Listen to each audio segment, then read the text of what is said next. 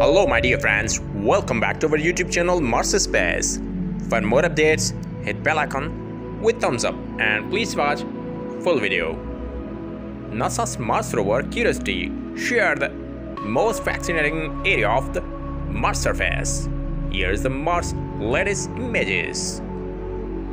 Mars is a dusty cold desert world with very thin atmosphere and NASA said many rovers, orbiters and one lander on Mars. They are discovering new areas of Mars surface and sending us scientific data.